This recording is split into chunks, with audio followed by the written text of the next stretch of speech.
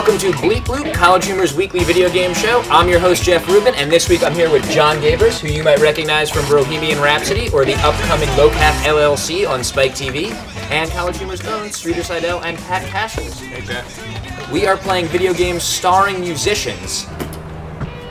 Unbelievable. Which you guys have disgraced the good name of Aerosmith. It's hard to be Aerosmith. I feel bad now. I made fun of them for a number of years, and apparently it's really hard to play their songs on Put on video. easy. If you want to make an Aerosmith game today, it's very easy. Everyone's already got the toy instruments. You just throw the Aerosmith songs in. But it wasn't always like this. This is 1994's Revolution X, the first Aerosmith game. The problem is right now I'm too drunk to play a video game, but not drunk enough to enjoy Aerosmith. You're not playing as Aerosmith with a gun just lighting up the streets. You're, Yeah. you're trying to rescue Aerosmith from the New Order Nation. Right, you're like uh, presumably a fan of Aerosmith, I think. Yeah. The biggest only a, fan. only a fan would react in this way. Jeff, do you want to describe the plot of the? There's a, there's a, because there's clearly there's a very dense narrative mean, to this you game. guys- Uh, do we how much t- how much time do we have? Can we Well, really get through a this? Just some, do like a Cormac McCarthy novel for us. before it was a, before it was a video game, right? I love how they're on rollerblades, like instant, ha- the quickest possible way to date your game. Or make a game about Aerosmith. I remember playing this at like Hot Skates in Levittown, Long Island, at my at some girl's birthday party, and being like, "There's a butt up there." I, can't- I would love to see the owner of the, that arcade watching this video and be like, yes, fu- yes, the publicity. That's right, come on down. There's Aerosmith rocking on rocking, rocking while chaos. people die around them. Stones at Altamont. Look at how many drums the drummer has. Look at Tyler. He has three cymbals. Oh, he's not even turned their back on Stop them. this nonsense now. Uh, you wiped out 166 bad guys, dude. Total bonus. Their screams will haunt me forever. Game concept and design by Michael Jackson.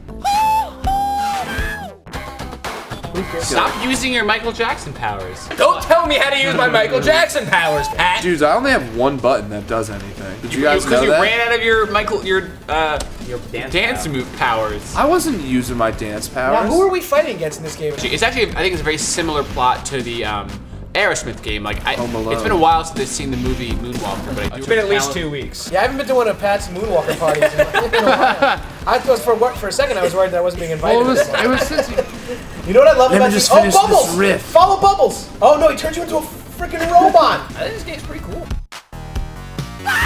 Look at the robots are dancing. oh, yeah, they are, dude. They're grooving. Look at them. Now they're about to die.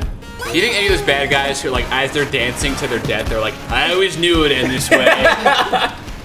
You said Patrick, it was designed, it was concepted and designed by Michael Jackson. they just hooked up an electrode to him and, he then danced for 20 minutes, and a this game was completely made when he was. First of all, look at what's going on here. Jesus Christ. Yeah, pay attention. This, this is where you pick All right, all right, Journey. Everyone in the spaceship. You have to pick what uh, I would what accept this instrument you want to from. rescue, right? yeah. So each Worth each buying Journey this band game. member gets their own uh, their own level. So what happens if you beat all five of these instrument levels? You actually get you actually get to join the band. It's like the last Starfighter, where like Journey is Hey, using this to dude. train people to be in Journey. You know this game is old because it refers to extra lives as man. Get your first man at 20,000 points. That's like how my father talks. Oh, you gotta get another man. That's the way to beat that. There's no reason to make his arms that big. like his normal arms are oh, good enough. think- Are you gonna be a hustler, a play a Don't be? G, G Unit Soldier. We want to see. Leia is still a step up for me, so I'm just gonna pick Leia. Looks like for rappers, first you make an album, then you get some sort of commercial, then you get a video game, and then you do a movie with Steven Seagal. It's like the, the natural progression of how your career is. That's your to be. career arc. Yeah. Pat, don't take this the wrong way. You are the worst 50 Cent I've ever seen. What? You've only shot two times. Concluding thoughts. What did we learn today? We've learned that, you know, 50 Cent makes a video game, he's like, let's make it badass. Everyone else makes a video game, and it's like, let's make it as fucking weird as possible.